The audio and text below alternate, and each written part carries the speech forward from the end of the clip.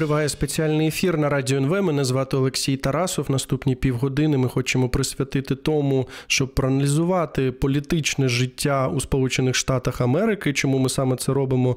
Ну, по-перше, що нас е, це турбує саме в Україні, тому що США є одним з найпотужніших е, саме партнерів України, так і зрозуміло, що політичне життя також відображає те, яким які обсяги допомоги ми зможемо отримувати для того, щоб е, краще у цьому розібратися. Ми попросили доєднатися до нашого ефіру Володимира Дубовика. Він є директором центру міжнародних досліджень, доцентом кафедри міжнародних відносин Одеського національного університету імені Мечникова. Пане Володимире, добрий день. Чи чуєте нас? Добрий день, чую вас добре. Ну, ми знаємо, що насправді е, Америку чекають оці проміжні вибори, і е, ми знаємо те, що е, президент Джо Байден є представників саме демократичної партії. Тож, от чи могли ви нам описати, наскільки впевнено відчувають себе демократи перед цими виборами, і от як їхні результати можуть повпливати на те, скільки допомоги отримає Україна? Ну, чесно кажучи, вони зовсім не впевнено відчуваються. Вони вважають, що це будуть дуже важкі вибори і готуються до поразок в багатьох округах. Е, і думають, що можуть втратити е, як контроль, такий так вже не повний контроль, а лише через віце-президентку Гарріс в Сенаті, так і в палаті представників. Ну що ж, маятник почнувся в один бік спочатку, коли обрали пана Байдена, і зараз в інший. Ось є певні економічні проблеми, і наслідки коронавірусу, і таке інше, е, ріс е, зростання цін, е, інфляція, багато таких моментів, на які звертають увагу американці. Через це вважається, що це будуть дуже для демократів складні вибори восені цього року, і тому вони просто готуються до того, щоб мінімізувати свої втрати. Зрозуміло, що багато ситуацій будуть залежати від співвідношення сил в окремих округах. Ось колись спікер палату Тіпо Ніл сказав в 80-х роках, що вся політика є місцевою. Е, він мав на увазі, що дійсно найважливіші речі відбуваються на місцях, в округах, таке інше. Е, але з іншого боку, можна казати, що так, республіканці зараз вважають, що в них є момент, який може допомогти їм повернути, ну поки що не білий дім. Це за пізніше, за два роки, але хоча б контроль в конгресі. Добре, а от наскільки саме важливим є українське питання у цих проміжних виборах? Ми розуміємо, що якщо є підтримка саме з боку громадян е, Сполучених Штатів Америки, то мабуть політики мають е, також це враховувати. Тож, от як ви гадаєте, якщо ну ми бачимо так справді, що республіканці можуть е, зараз, е, ну скажімо так, перемогти на цих проміжних виборах, чи це вплине саме на те, е, що буде, яка буде підтримка для України? Ну, ви знаєте, сказати, що український напрямок чи українська тематика не важлива, це було б неправильно, бо вона важлива і зараз увага прикута дійсно до війни, до російського нападу на Україну, що триває. Але з іншого боку, все ж таки це можливо не пріоритет. А що ще більш важливо, як на мене, то це, це, це те, що е, є певний консенсус, як республіканці, так і демократи. Переважна більшість поважає, погоджується з тим. Е, що треба Україні допомагати е, всіляко. Е, і треба Росії продовжувати карати знову ж таки як намога більше.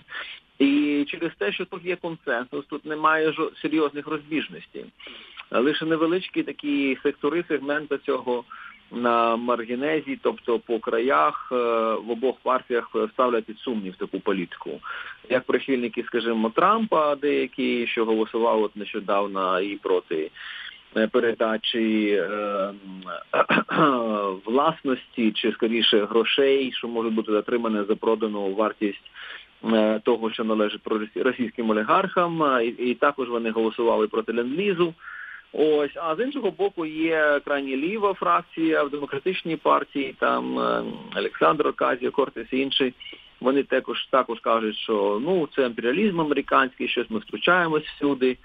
Зброю надсилаємо і таке інше. Це, мабуть, неправильно. Краще б ми в стороні були і наполягали б там на миру, таке інше.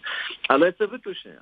Це виняток. Переважна частина, абсолютна більшість як республіканців, так і демократів погоджуються з тим, що в принципі все правильно робить співодім, підтримує Україну, поширює, піднімає рівень цієї підтримки. Е, знову говорить про якісь нові санкції проти Росії, щоб її покарати і підірвати її здатність вести війну проти України. Тому тут нема серйозного поля розбіжності для того, щоб це питання поставило як роз... Е, е, питання, яке буде розділяти, скажімо, дві партії напередодні цих виборів. Я знаєте, чому ще питаю про республіканців, саме що ну все рівно там залишається таким головним республіканським лідером, все рівно залишається Дональд Трамп. Багато його підозрювали у таких дружніх стосунках саме з Путіним. І на початку війни він щось таке висловлювався щодо того, що Путін молодець, а потім вже зрозуміло, що ну це просто не на часі таке говорити. То він е, засудив зрозуміло вторгнення Росії е, в е, Україну. Тож чи можемо ми вважати, що якщо республіканці переможуть? Я по-іншому сформулюю запитання. Чи наскільки великою є, е, наскільки великим є вплив саме Трампа на республіканську партію, і от е, у разі саме перемоги е, на цих проміжних виборах, а тут я нагадаю слухачам, що обирається частина нижньої та верхньої палат конгресу, 36 губернаторів, 3 губернатори територій. Тож чи може чи можемо ми побачити з боку Трампа вплив на республіканську партію в тому сенсі, що ну якісь щоб йшли на якісь поступки Путіна? Думаю, що ні. Ну, перш за все, Трамп так дійсно зберігає певний вплив на свою партію. Це факт.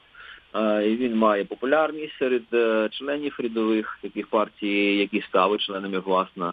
Багато хто з них е, за 4 роки, що він був президентом. Тобто він особисто їх притягнув магнитом до партії.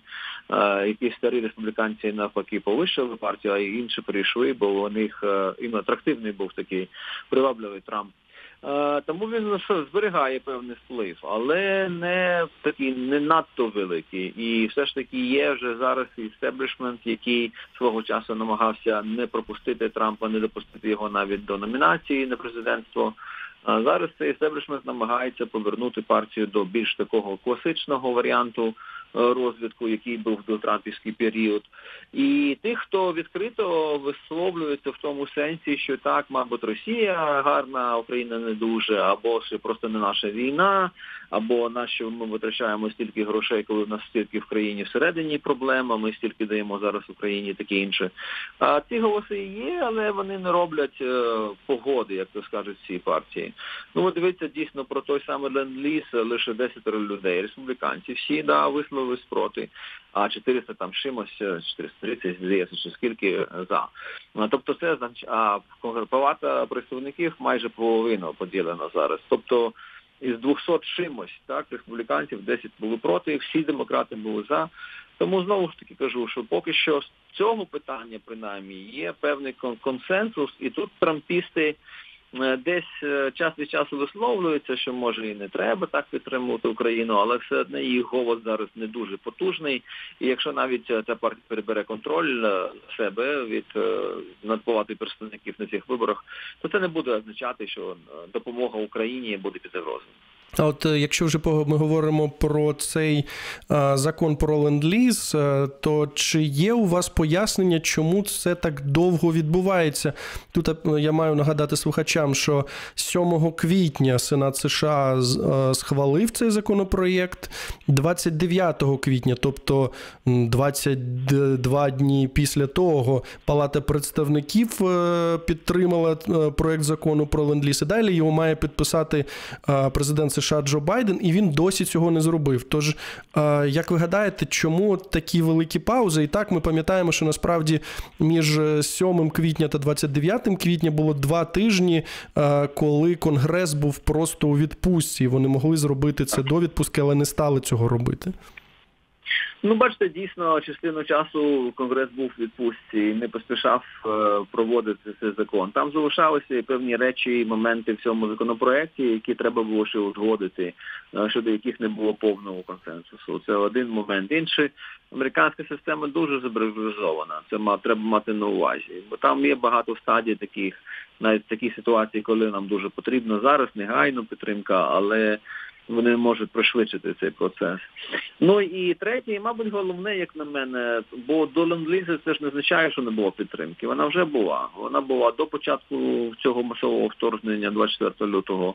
Вона була і після 24 лютого. Вона є постійною такою нон-стоп, 24 години на добу прибуває американська зброя, гроші надаються на зброєння, а також на гуманітарну допомогу для біженців і внутрішньопереміщених осіб, і на Е, підтримання української економіки зараз на плаву.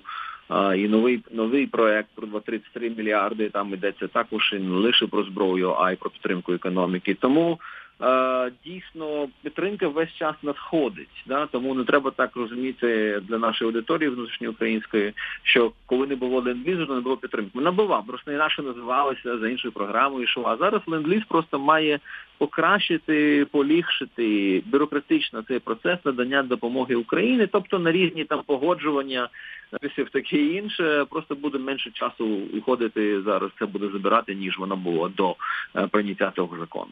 Ну, але ж ми розуміємо, в чому може бути роздратування українців і роздратування нашої аудиторії, чому це так довго відбувається. А от е, щодо того, що ви сказали, що є частина американських політиків, які кажуть, що ну треба зупинити, не те, що зупинити, що треба зав'язувати з цим американським імперіалізмом.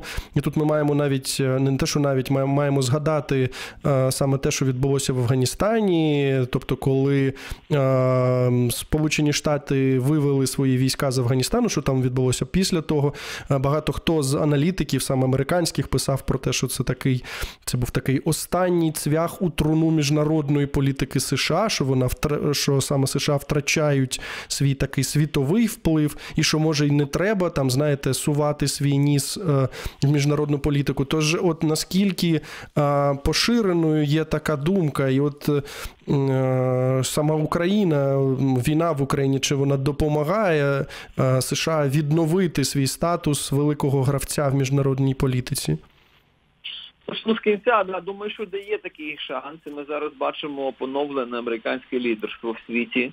А зараз всі визнають і зізнаються, що європейські лідери, скажімо, що без американської координації зусиль щодо покарання Росії і допомоги Україні не було б такого масштабного швидкого реагування. Вони все координують. Вони зібралися зустріч в Рамштані, щоб поговорити про допомогу. Вони весь час збираються в різних інших форматах, там сімка, таке інше.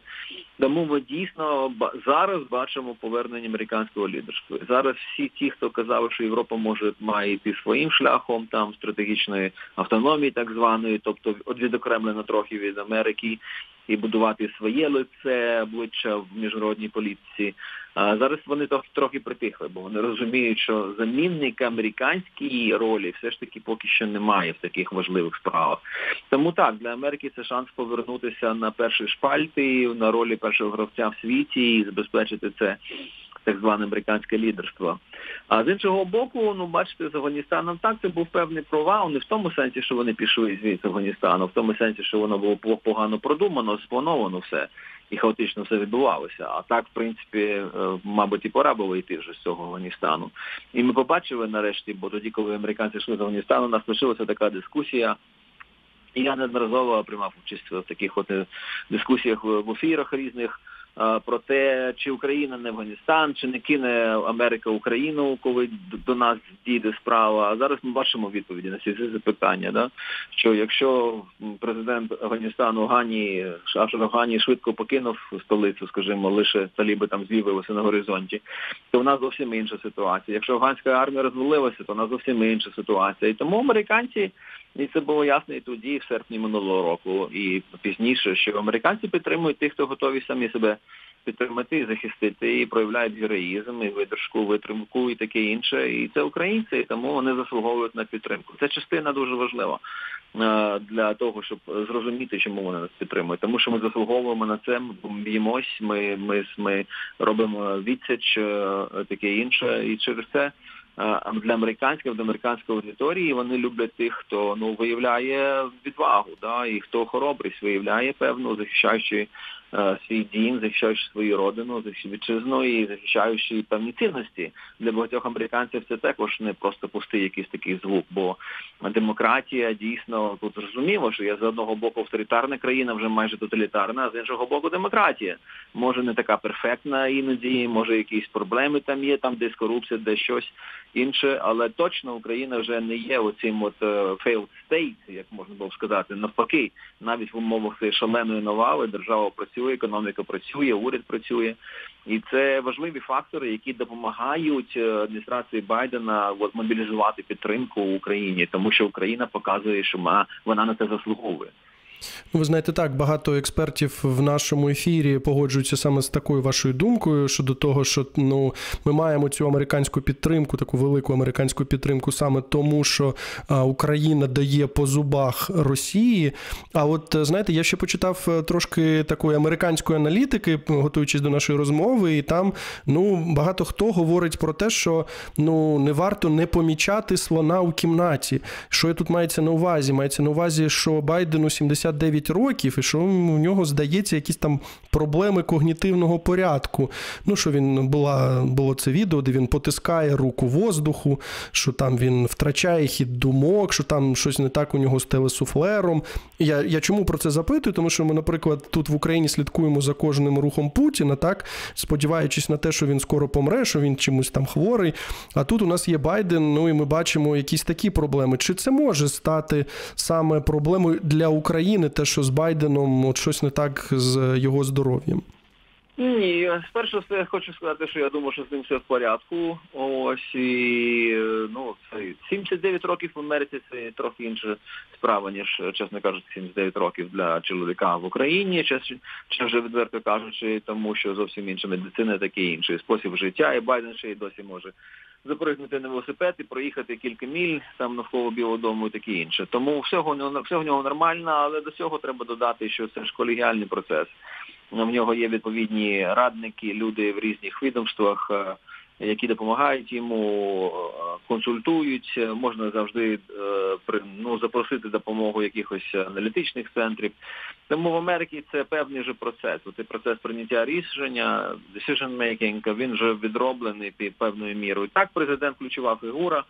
Але якщо навіть щось не так з президентом, це зовсім не буде означати, що все заблокується, загальмується і не буде цього прийняття рішень. Навпаки, від він від Росії, да де дійсно зараз Путін все вирішує, але якщо його там не стане, чи він там від відсторониться, то ніхто не буде знати, що робити в Америці навпаки, бо є определенна вже певна така.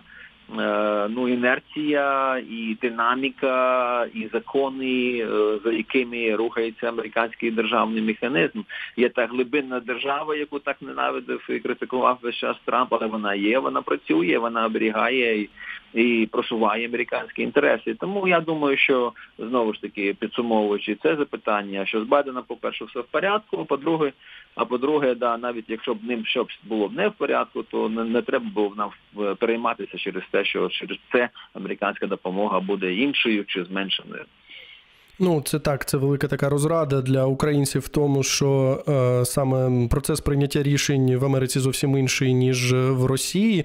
А от знаєте, я б ще хотів трошечки проговорити про те, що е, оці, знаєте, різні меседжі, які е, на початку, мені здається, все-таки війни, так, ну не на не самому початку, але десь е, на другий, третій тиждень, так, які надсилали до аудиторії президент США та Білий Дім. Тут ми маємо згадати оцю промову 26 березня у Варшаві, де Джо Байден ну сказав про те, що така людина, як Путін, не має не має очолювати Росію. І після цього Білий Дім почав спростовувати його слова, кажучи про те, що ну знаєте, ми тут не говоримо, що Америка там пропонує якийсь заколот, щоб змістити Путіна.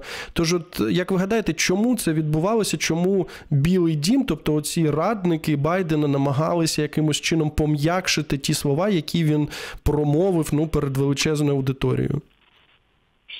Ну, бачите, це цікаво дійсно, бо тут е, американський підхід до цієї війни трохи змінювався від перших днів до того, що ми зараз вбачаємо. бачаємо. Головна зміна заключається в тому, що спочатку взагалі не було впевненості, що Україна витримає навіть там, я знаю, тиждень.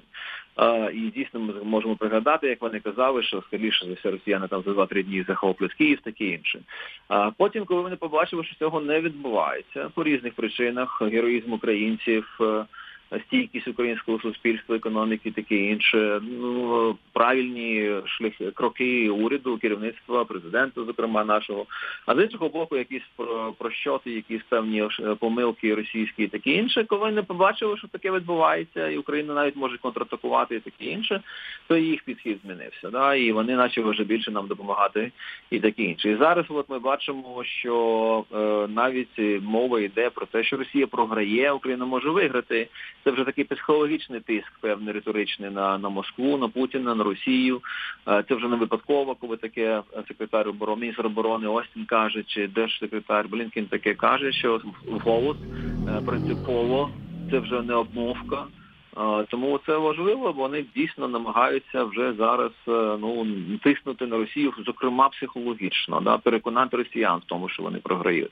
Це ризиковано трохи, да, через те, що хто знає, як вони відреагують в Росії. Боже, може вони виявляють, ну для якщо вони там вже в куту глухому і нема куди вибиратися, їх вже прижали що біля стінки, то то вони будуть ще якісь ще більше, якісь якісь такі антисоціологічні якісь такі речі, антигуманні якісь робити. А тому тут є є певний ризик. Але промова Варшавська дуже програмна була. Якщо дійсно захід прокинеться зараз і буде на майбутні роки розуміти природу і масштаб е, і характер російської загрози, то багато істориків будуть згадувати ту Варшавську промову як таку програмну, де американці сказали, що от ну треба нам гуртуватися знову, як це було 40 років у другій половині ХХ століття проти радянської загрози. Зараз російська, треба триматись разом, е, координувати дії таке інше. Тобто тут е, такі моменти, де Америка намагається. Е, не просто підтримати Україну, а й трохи перейти в такий контрнаступ руками українців, так, але на американські гроші з американською зброєю. Ну так, і саме цю промову у Варшаві навіть анонсували е, як історичну, так ще до того, як ми почули те, що говорить Джо Байден. Хоча я пам'ятаю, що я, як українець, українець, був е, трошки розчарований, тому що я не очікував на більше. Хоча всі говорять про те, що ця промова була адресована не українцям, а Євро, Європейському Союзові. А, Мабуть, останнє, що вас запитаю, от ми бачимо, наприклад, е, ситуацію, в якій був прем'єр-міністр Великої Британії. Британії Борис Джонсон, ну там в нього міг бути такий паті гейт, ну тобто закликали ага. до його відставки, і багато хто говорить, що саме а, от а, включившись дуже активно в цю таку підтримку Україні, що він і отримав свої такі додаткові бали, що він уникнув а, цієї відставки. От як ви гадаєте, чи може оця підтримка Україні допомогти демократичній партії США? Тут я маю наприклад згадати про те, що от я побачив аналітику сьогодні вона була опублікована про те, що демократи втрачають голоса молодих виборців, ну такого покоління Z. Тож, е, можливо, е, вони можуть е, більше молоді долучити до себе, до своїх лав, так скажемо, допомагаючи Україні, тому що це зараз просто модно, і, мабуть, молоді люди знають про те, що Україна це модно. Ну ні, ви знаєте, знову почну з кінця. Скоріше серед молодих більше всього таких е, американців і можна знайти, хто проти такого втручання в якісь такі ситуації, як Україна, хто власне і вважає, що Америка всюди присутня, світова така гегемонія. Е, глобалістська така глобальна політика, і вони зазвичай багато хто з молодих американців проти і лів таких поглядів, що вони кажуть, що це все імперіалізм, а треба нам займатися своїми власними справами, расизмом, там таке інше всередині країни. е, по- покращувати рівень там в викладанні таке інше, бо скажімо там. Е, Мільярди, мільярди боргів є людей, які отримують освіту в Америці, і держава могла б на ці гроші, що вона Україні дає, допомогти їм розрахуватися з банками, скажімо навпаки. Е, Це щодо молоді. Але ну так, е, певна частина американців підтримує курс Байдена щодо України. Хоча при всьому цьому, все ж таки, коли вони будуть голосувати в останні, то головне питання для них будуть інші. Це дійсно чи створюються робочі місця, яка який рівень інфляції, що відбувається з нашою інфраструктурою. Тут знову ж таки питання. Да, якщо в нас якісь мости падають, такі інше. Ось то може треба скерувати частину цих грошей не до України, а до нашої інфраструктури і таке інше, яка також потерпає. Е, такі от речі, податки, да, такі. Ну бо зараз дефіцит е, зростає. Він зростає ще з тих часів, коли Байден спрямував ку- велику купу грошей на протидію коронавірусу. Зараз він звертає багато грошей на підтримку Україні, але ці гроші звідки ж мають братись? І це означає, що збільшується державний дефіцит, е, державний борг, е, і збільшуються податки. Да, бо все ж одне на не з повітря береться. Це американці платять податки, з них вже беруться гроші на допомогу Україні, зокрема. Тому таке з одного боку, дійсно для багатьох американців, те, що ми стоїмо для них так, от на правильному боці, підтримуємо жертву, підтримуємо тих, хто нам ближче е, духовно, і політично, ідеологічно через демократичне налаштування України. Це важливо. А з іншого боку, є багато таких, які кажуть, що ну для нас це не так принципово. Для нас більш важливо, скільки там бензин, скажімо, на заправці зараз стоїть. А якщо він буде більше е, коштувати нам е, через те, що ми підтримуємо зараз, скажімо, Україну, то може це і неправильно.